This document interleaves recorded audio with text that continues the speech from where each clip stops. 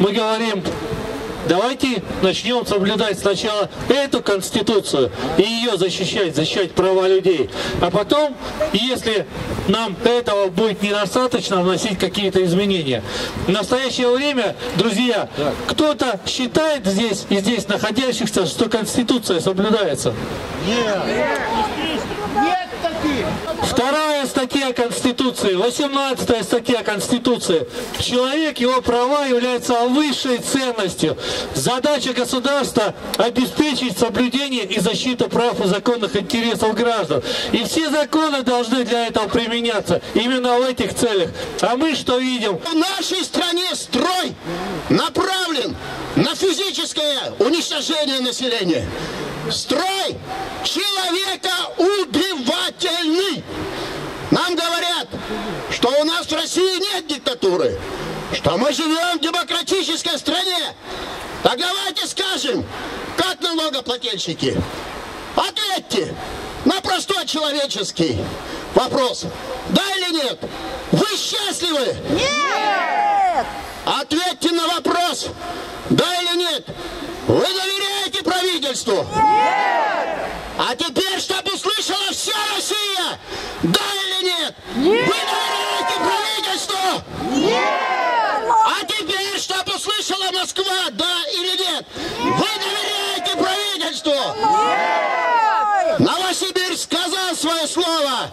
Пусть скажут свои мнения другие города нашей великой России. Нужно срочно перекрывать границы и прочистить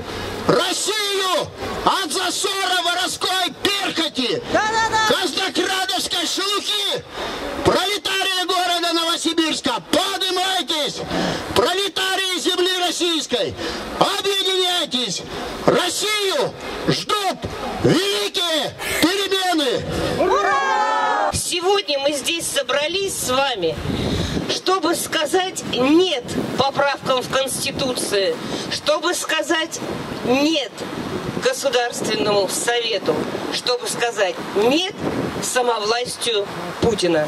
Власть ждет от народа одобрения, чтобы вы сказали «да», а мы им скажем «нет», и мы должны отправить Путина в аут и эту бандитскую, воровскую партию отправить в аут. Вы посмотрите, какая стала наша страна нищая. Повышают налоги, повыш- повышают пенсионный возраст, сельское хозяйство в упадке, все предприятия закрыты. Мы не хотим такой власти. Нет! Единственное, что от нас не зависит, это то, что рождаясь, мы обязательно умрем. Но пока мы живем, мы важно жить людьми, важно защищать свои права. Давайте вспомним известные слова. Лишь тот достоин счастья и свободы, кто каждый день за них готов идти на бой. Вы готовы защищать свои права? Друзья, и понятно, что Путин делает эти изменения в Конституцию, уносит только для того, чтобы оставить себе власть. Я считаю, что Владимир Путин через своих друзей очень много денег изъял из бюджета в свой карман. Как вы считаете, так? Ворюга! Путин вор! Мошенник! Мафиози! Прочь от Конституции! Руки прочь от Конституции! Нельзя поддерживать предложение Путина по следующим причинам. Во-первых, нельзя доверять предложениям человека, под руководством которого страна фактически разрушена и превращена в колонию Запада. Уничтожены десятки тысяч крупных и средних промышленных предприятий, десятки тысяч крупных и средних агрохозяйств. Значительно сократилось количество школ, детских садов, медицинских учреждений. Умерли десятки тысяч деревень. Население страны сокращается.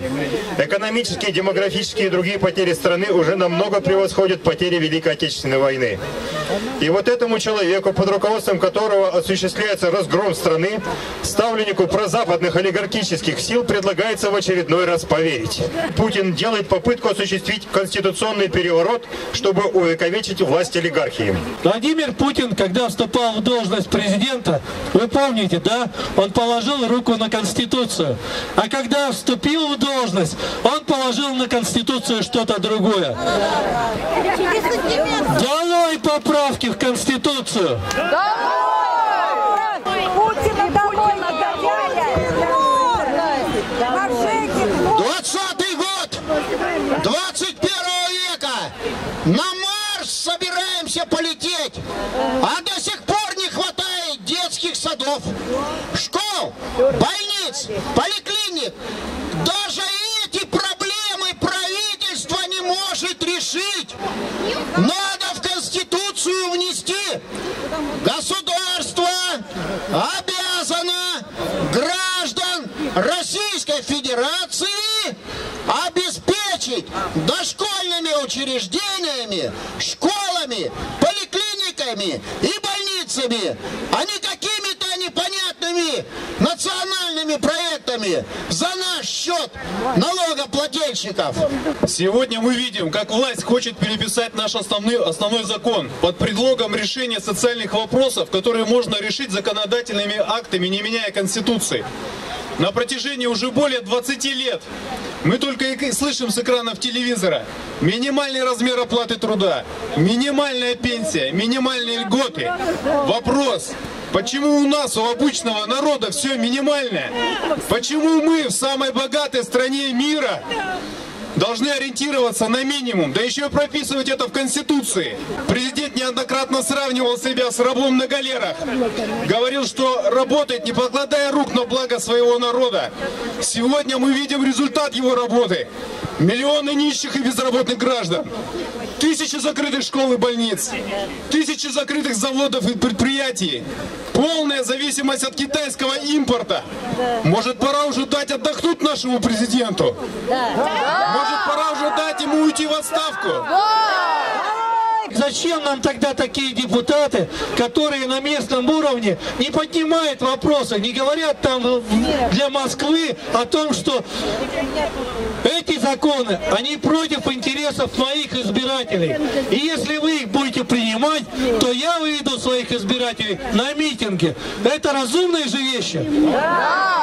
Так должны поступать депутаты городского совета, местных сельсоветов и так далее. Правильно? Если они хотят быть нашими представителями. Еще раз, друзья, напоминаю, 29 и 7 марта у нас следующие митинги. 7 марта в 14.00 на Римском сквере. Я хотел бы отметить в этот прекрасный солнечный день такое количество людей первый раз собралось в этом году. И это еще мало.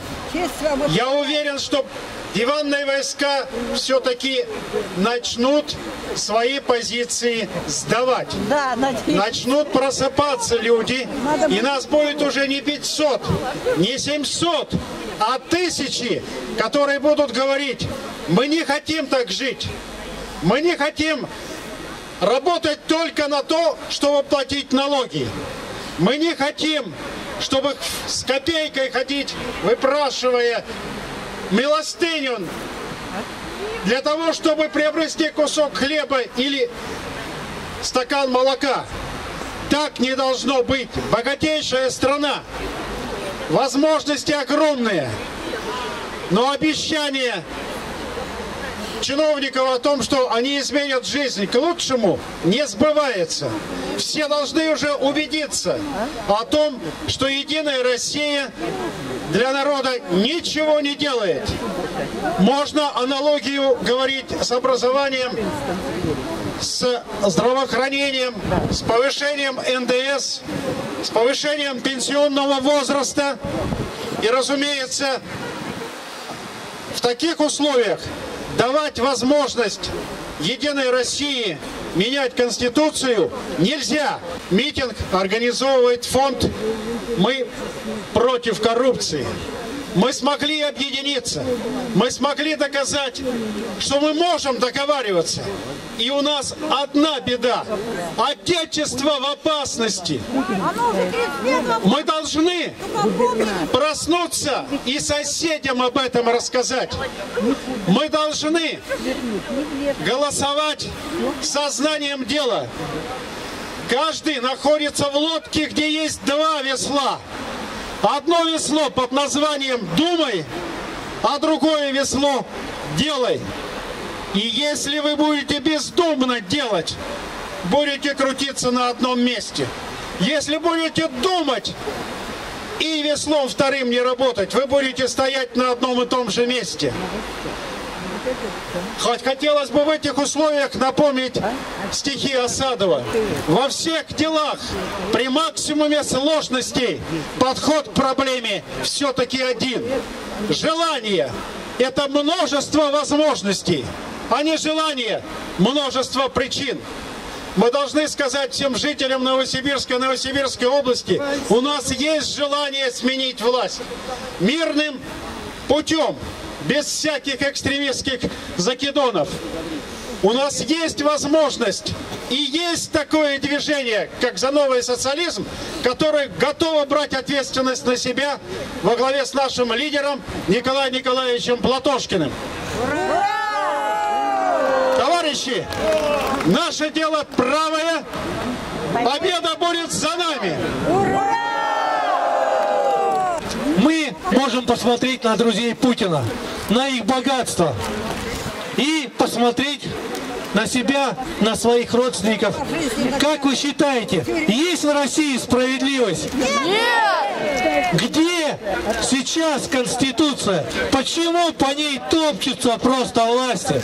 Почему ее не соблюдают? Почему в самой богатой стране мира только друзья Путина самые богатые в мире? Добрый день, друзья. Я немножко уже все подзамерзли. Я хочу напомнить, завтра 23 февраля. Я поздравляю всех с наступающим днем защитника Отечества. Вот здесь женщины стоят, которые не служили в армии, но они настоящие защитники Отечества. Они вышли на этот митинг защитить страну. Вспомните, 75 лет Великой Победы в этом году. Наши предки, сибиряки, отстояли Москву, отстояли Россию. И мы будем верны своим предкам. Их кровь не была напрасна. Мы поменяем эту власть и Россия будет свободной и счастливой. А всех казнократов мы отправим на освоение Крайнего Севера. С праздником, друзья, с наступающим! Всем здоровья и успеха! Объединяемся! Победа будет за нами!